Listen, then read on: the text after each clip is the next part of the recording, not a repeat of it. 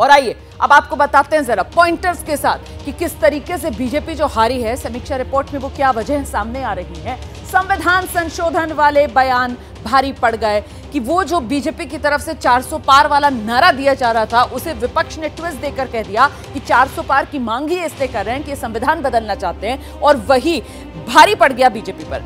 पिछड़ी जातियाँ बीजेपी से अलग हो गई। ये बयान कहीं ना कहीं बेहद महत्वपूर्ण माना जा रहा है कि यही वजह रही कि पिछड़ी जातियों में एक डर और वो बीजेपी से अलग हो गई। बीजेपी आरक्षण हटा देगी वाला, ये जो नैरेटिव विपक्ष की तरफ़ से बनाया गया ना, कि बीजेपी 400 पार मांगी इसलिए रही है संविधान बदल देंगे, आरक्षण हटा देंगे, ये नैरेटिव भारी पड़ गया बीजेपी पर। और इसकी वजह से हुआ क्या? वो गैर यादव ओबीसी और गैर जाटव एससी वाला वोट जो अभी तक बीजेपी के पास जा रहा था, पिछले कुछ चुनाव से 2014 से हमने देखा था, ये ट्रेंड शुरू होता हुआ, वो वोट छिटक गया बीजेपी से। प्रतियोगी परीक्षाओं में पेपर लीक वाला जो मुद्दा है, ये मुद्दा भी उत्तर प्रदेश में बीजेपी को बहुत भारी पड़ा।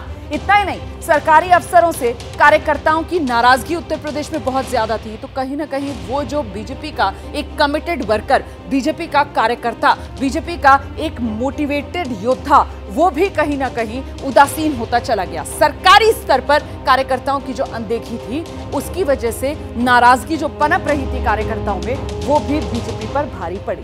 तो एक एक कर ये अलग अलग वजह जो इस रिपोर्ट में सामने आ रही है। समीक्षा रिपोर्ट में खुलासा हुआ सूत्र इसको लेकर जानकारी दे रहे हैं। इतना ही नहीं, सरकारी विभागों में कॉन्ट्रैक्ट से भर्ती और आउटसोर्सिंग ये जो फैसला था, इसको लेकर भी खासी नाराज़गी थी। टिकट बंटवारे में जो जल्दबाजी की गई उससे भी कहीं ना कहीं एक असंतोष जो फैला हुआ था पार्टी के भीतर, ये वो अलग अलग वजह हैं जो सामने आ रही हैं। मैंने पहले ही आपको बताया कि पंद्रह पन्नों की रिपोर्ट है और पंद्रह पन्नों की इस रिपोर्ट में जो वजह हैं, वो बारह गिनाई गई हैं। समर्थकों के नाम मतदाता सूची से हटा दिए गए। इसको लेकर आपको ध्यान होगा, अयोध्या में जब बाकायदा बीजेपी की समीक्षा बैठक चल रही थी, हार पर मंथन हो रहा था, उस वक्त भी ये बात जो है, वो उजागर हुई थी। और इसके लिए जो स्थानीय प्रशासन है, उसको कहीं ना कहीं जिम्मेदार पार्टी की तरफ़ से ठहराया गया समर्थकों के नाम मतदाता सूची से हटाए गए। इसके अलावा ठाकुर मतदाता बीजेपी से दूर चले गए। ये जैसे ही चुनाव शुरू हुआ था, तभी से कहा जा रहा था कि ठाकुर मतदाता बीजेपी से नाराज़ है। बीएसपी प्रत्याशियों ने मुस्लिम और अन्य वोट नहीं काटे। जो बीएसपी की तरफ़ से, हालाँकि कई जगहों पर मुसलमानों को उम्मीदवार बनाया भी गया, लेकिन वो इनफेक्टिव साबित हुए। और बीएसपी के जो उम्मीदवार थे, वो भी मुस्लिम और अन्य जो जाटव वाले वोट हैं, वो ज़्यादा नहीं काट पाए। एससी वोटर्स में ज़्यादा सेंध नहीं लगा पाए। और हुआ ये कि वो एक मुश्त, पूरा का पूरा ब्लॉक जो है, वो इंडिया गठबंधन की तरफ़ चला गया। और इसकी वजह से बीजेपी हारी। ये भी एक वजह है। इस बीच संविधान संशोधन वाले बयान जो भारी पड़ने की बात सामने आ रही है पिछड़ी जातियाँ बीजेपी से अलग हुई हैं। बीजेपी आरक्षण हटा देगी वाला नैरेटिव जो चला है। गैर यादव ओबीसी गैर जाटव एससी वोट जो है, वो समाजवादी पार्टी को चले गए। ये जो वजह सामने आ रही है, ये बड़ी वजह अभिषेक, जो सामने निकल कर आई है।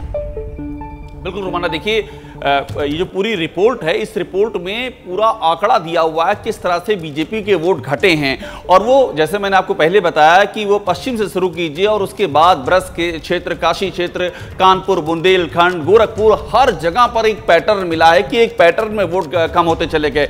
और उसमें संविधान संशोधन वाले बयान का एक अहम हिस्सा बताया जा रहा है। पिछड़ी जातियाँ अलग हुई हैं। और दूसरा जो महत्वपूर्ण मसला है, वो है मसला पेपर लीक का मसला, जो इसमें खासतौर पर उठाया गया है कि यूपी में लगातार पेपर लीक हुए हैं। एक एक सेकंड मैं उस पर आती हूँ। मतलब अभी तक मैंने वो मुद्दे गिनाए जो कहीं ना कहीं विपक्ष की तरफ़ से एक नैरेटिव चलाया गया और वो नैरेटिव बीजेपी पर भारी पड़ गया। अब वो जो पेपर लीक की आपने बात की है जरा दिखाइए दोबारा से। वो कुछ और बड़े अहम वजह जो इस रिपोर्ट में सामने आ रही हैं। उसमें देखिए प्रतियोगी परीक्षाओं में पेपर लीक वाला जो मुद्दा है ये गरमाया इस चुनाव में। यूपी में बीजेपी की हार की समीक्षा रिपोर्ट जो कहती है कि परीक्षाओं में पेपर लीक का मुद्दा भी कारण बना।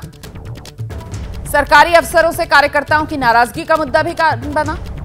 सरकारी स्तर पर कार्यकर्ताओं की जो अनदेखी हो रही थी एक तो सरकारी अफसरों से कार्यकर्ताओं की नाराज़गी, एक सरकारी स्तर पर जो कार्यकर्ताओं की अनदेखी हो रही थी और सरकारी विभागों में कॉन्ट्रैक्ट से जो भर्ती और आउटसोर्सिंग की जा रही थी, वो भी कहीं ना कहीं वजह बनी। तो ये जो चार वजह अब हम दर्शकों को बता रहे हैं, अभिषेक उपाध्याय, कुल मिलाकर ये तो कहीं ना कहीं ऐसी वजह हैं जो कटघरे में यूपी सरकार, योगी सरकार को खड़ी करती हुई नज़र आ रही हैं। बिल्कुल रोमाना, देखिए, ये जो सारी वजह हैं, ये योगी सरकार के इर्द गिर्द ही घूमती है, जो समीक्षा रिपोर्ट में लिखा गया है। पेपर लीक की जो बात है, उसमें बड़ा ही क्लियर है कि लगातार एक के बाद दूसरे पेपर लीक हुए हैं। उससे बड़ी नाराज़गी है युवाओं में। ये हर क्षेत्र में पता चला है। इसके अलावा जो संविदा की भर्तियाँ हैं, कॉन्ट्रैक्ट की भर्तियाँ हैं, उसको लेकर के नाराज़गी, जो आउटसोर्सिंग हो रही है, आरक्षण के नियमों की अनदेखी हो रही है, वो एक बड़ी नाराज़गी का बायस है। ये भी योगी सरकार के खाते में जाता है। सरकारी अधिकारियों और कर्मचारियों से बहुत नाराज़गी हुई। ये कार्यकर्ताओं का फीडबैक हर जगह से मिला है। और एक जो अभी आप बात दिखा रही थी, वो हमने पहले भी ब्रेक की थी, वो खबर कि बीएलओ के जो अयोध्या वाली बात बता रही थी एबीपी न्यूज़ ने दिखाया था बीएलओ ने नाम काटे हैं, ये फीडबैक मिला है।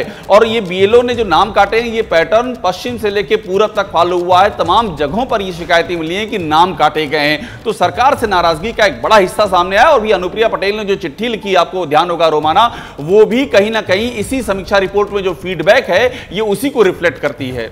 जी। आप रहिए मेरे साथ, अभिषेक उपाध्याय। मैं लौटूँगी आपके पास।